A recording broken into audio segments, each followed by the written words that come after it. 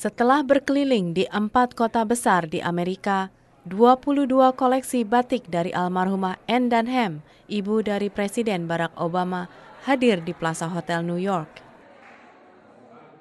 Duta Besar Indonesia untuk Amerika Serikat menceritakan perjalanan koleksi batik-batik tersebut.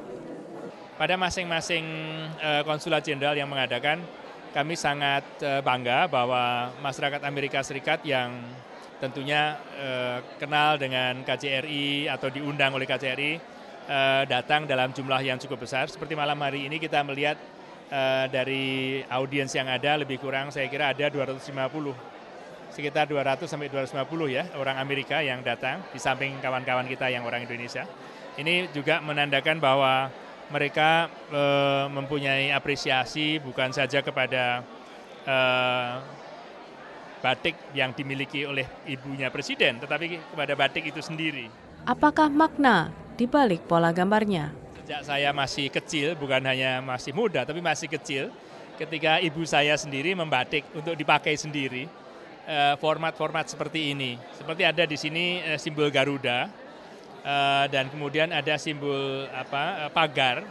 Jadi Garuda melambangkan kekuatan seseorang yang kepahlawanan seseorang yang kemudian juga di apa dibatasi atau dilindungi dengan pagar yang seperti apa yang kita lihat di sini.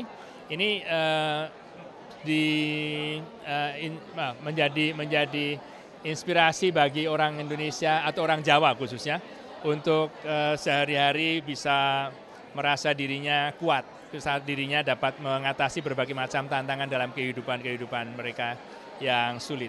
Batik pedalaman yang dianggap sebagai batik klasik berasal mula dari dalam lingkup keraton. Warnanya cenderung lebih gelap dan alami kecoklatan. Sedangkan batik pesisir mempunyai warna yang lebih bervariasi dan bernuansa ceria. Sesuai namanya, batik pesisir berasal dari daerah pesisir pantai Jawa.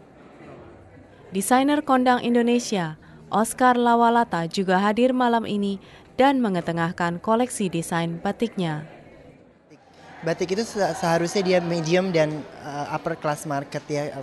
Karena batik itu kan kita bicara batik kita bicara prosesnya dan kita bicara historinya kita bicara desain motifnya gitu. Dan dan pembuatan batik itu tidak mudah gitu. Walaupun kita tahu batik ada dua teknik ada batik cap dan batik tulis. Sedangkan untuk batik tulis sendiri makan waktunya bisa sampai tiga bulan enam bulan bahkan sampai setahun.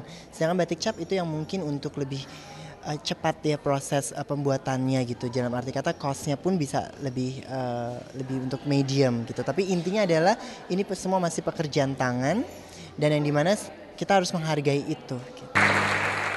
Dua negara, dua benua malam ini sehati dalam budaya batik. Koleksi desain batik yang disambut meriah oleh para hadirin menutup acara hari ini. Henny Chen, NTD, New York.